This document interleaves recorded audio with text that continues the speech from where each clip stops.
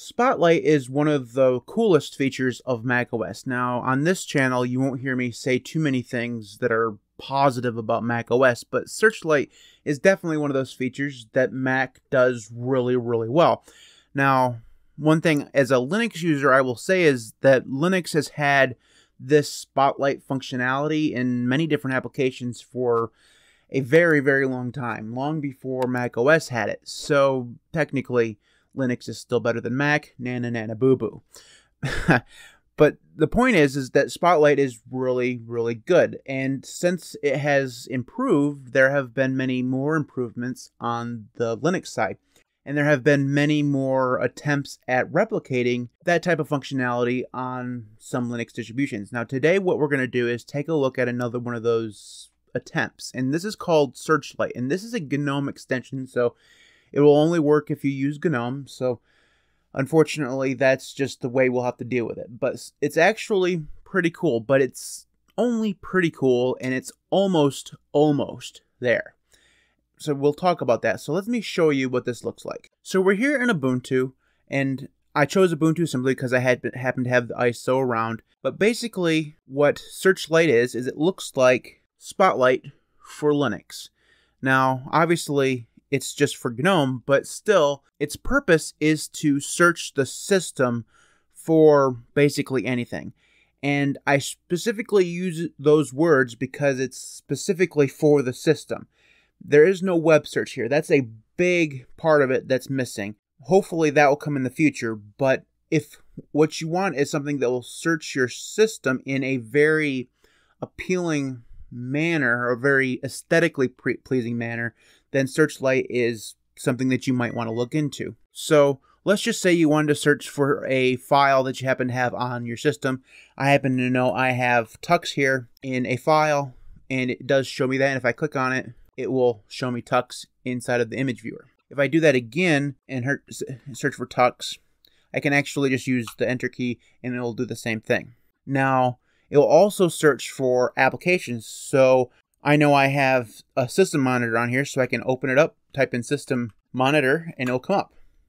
So it does a very good job of searching the system for both applications that you have installed and files on your system. Now, I'm not sure how well it will work if you have a ton of files. This is a brand new installed VM, so there's not a lot of files here. So it may slow down if you have a ton of files. I'm not sure.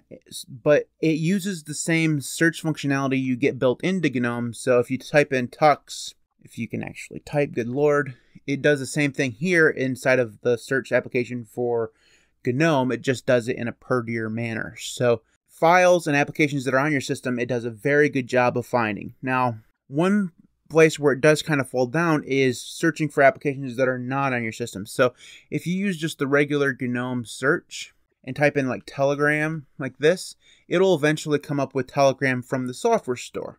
And it will show you anything that's related to that hap- to that search, right, from the software center. And you see, see how quick that is. If we were to use Searchlight to do the same thing, so let's just search for Discord it will search for it, but it's going to take a little bit longer. I'm not sure what the delay is there, and sometimes it takes even longer than that. But it does it, it does and will search the software center just like the regular GNOME search will. And like I said, it will do so in an, an aesthetically pleasing manner. It just it looks very nice, right?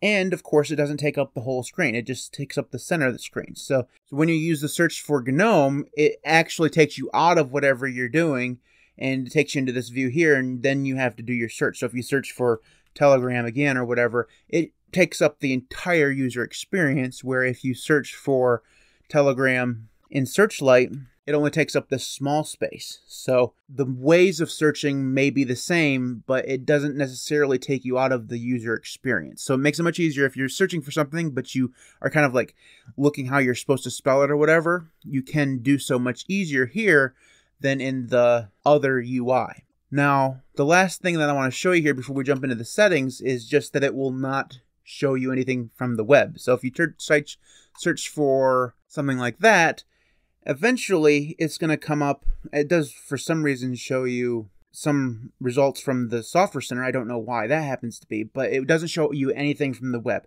If they were to institute web search inside of this, it would make it even more appealing because it has the same limitations as this here. So if you type in like so, you don't get any web results from here either. So it's because it's using the same, I'm going to call it search engine, but you get the idea. It uses the same source of the search results as this does. So it's going to have the same results and same limitations. So if they could add web search to it, you know, using DuckDuckGo or whatever, that'd be make it so much better. So the last thing we should take a look at is installation and settings. So this is a GNOME extension, so you have to install it through the GNOME Extension Manager or through the GNOME Extensions website, however you manage your extensions. And uh, I chose the GNOME Extensions Manager. You can get that on FlatHub, and uh, you just go here, to search for Searchlight, and it's right here, and you hit install. It will install it, and then you'll get this entry here inside of your installed extensions, and then you have the settings. So by default, there is no default key binding, so you'll have to set your own key binding. I chose Alt D. I was going to try to use Super D because I'm used to Rofi coming up with Super D, but Super D is a minimized key binding for Ubuntu, so I couldn't use that. But I set the key binding, and it will allow you to choose where it will show up if you have multiple monitors, which is really nice. It will also it will also allow you to choose to have it pop up on the monitor that is in focus. So if your cursor is on the other monitor, it would po- it would pop up over there instead of popping up where the cursor is not. That's really nice. It will also allow you to display a icon up here at the top. So if you didn't want to use the key binding, you could use that as well. Oddly, it doesn't go away when you click the icon again. You have to hit escape. Uh, it would be nice if once you click on that and it pops up, you click it again, it should go away, it, but it does not. So that's one thing.